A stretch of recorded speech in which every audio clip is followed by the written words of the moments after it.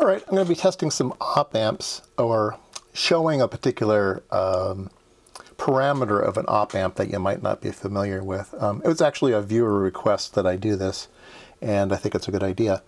So um, I, I laid out this PC board a while ago, and I'm going to be using it. Now, I needed more, so thanks to PCBWay for uh, making me some more boards. I'll put a link down below. Uh, PCBWay, I have a share site there, and you can order a bunch of boards that I've designed. This is a very, very popular board that I did. Um, I've sold quite a few of these, um, and I get a 10% royalty, so yeah, go get one. um, so what we're going to do is we're going to use two of these boards. We're going to set up one in one mode and another in another mode, and uh, they will do the same function, but they'll have different um, function, uh, different, uh, hmm, how do I say this? One will be better than the other. how about that? Yeah, they'll, they'll do the exact same thing, but one will be better. And uh, so we'll learn about that. All right, I'm going to be using, let's see, what am I going to be using?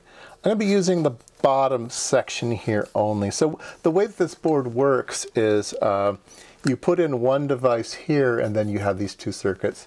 And you put in this device, you have these two circuits. So two different op amps and each op amp has is a dual op amp and each op amp is a different functionality. So I'm going to be using just the bottom half, okay?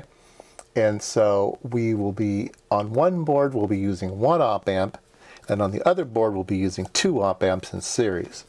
Um, so yeah, let me get those loaded up. It'll make more sense once I get them loaded up and we start playing with it. So yeah, let me put on some parts. All right, uh, so this board has uh, two circuits on it, a times 10 amplifier and a times 10 amplifier. So we'll get a, a gain of 100. And this one has one stage that has a gain of 100. So it has a 1K, 100K.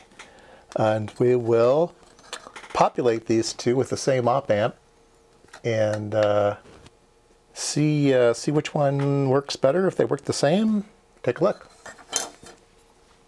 All right, so we have an op amp in here. This is a TL082.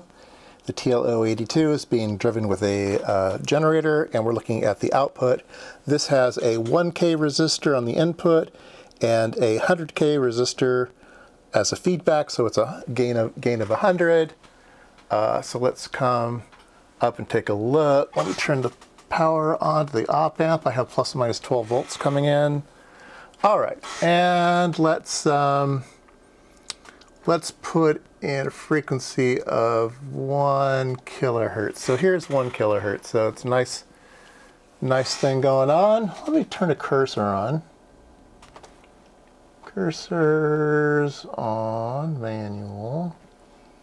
And uh, let's see here, why? Uh,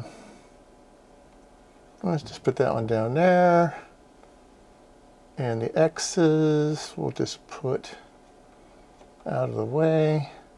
I just want one cursor. I just want one cursor, okay? And um, so that one cursor, um, and Y, oops, Y is this one here, okay? So this is our peak to peak. And so I'm gonna hit it, I'm gonna uh, go up here and it's measuring, uh, it's measuring five volts. Okay, I'm gonna get out my calculator. And I'm gonna take that five volts and I'm gonna multiply it by 0.707. I'm gonna get three and, three and a half volts. Okay, so three and a half. So let's lower the cursor down to three and a half. Oops, right about there. Okay, so let me then go to the generator, which is in the scope, and I'm going to increase the frequency. And you can see that at some point we start to drop, uh, we start to drop uh, because of the bandwidth of the part. Okay, and we can test the bandwidth of our part, speed of our part. We're going to go about here and uh, I'm going to say it's happening right at about 38. Uh, nope. Go up again. 31.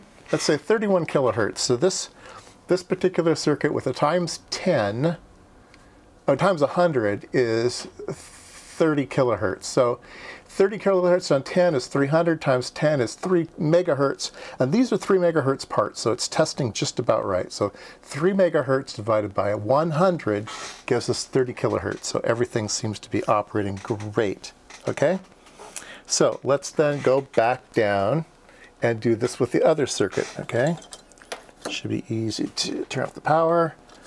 We'll move it over. Now this particular circuit here also has a gain of 100, but it does it with a times 10 and a times 10, okay? And let's go ahead and hook everything back up.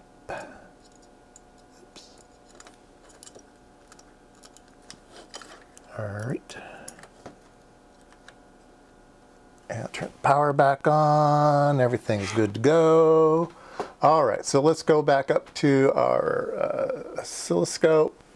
And um, so we can look at some frequencies. Here's 10 kilohertz, and we keep going up and up and up until it finally gets smaller and smaller and smaller.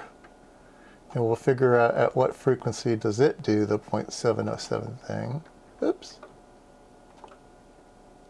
and I'd say maybe about maybe about there. Okay? And it's 150 kilohertz. Five times faster. Five times faster. All right, so what did we just show?